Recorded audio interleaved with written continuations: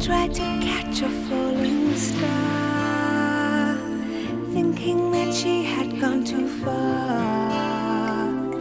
She did, but kept it hidden well until she cracked and then she fell.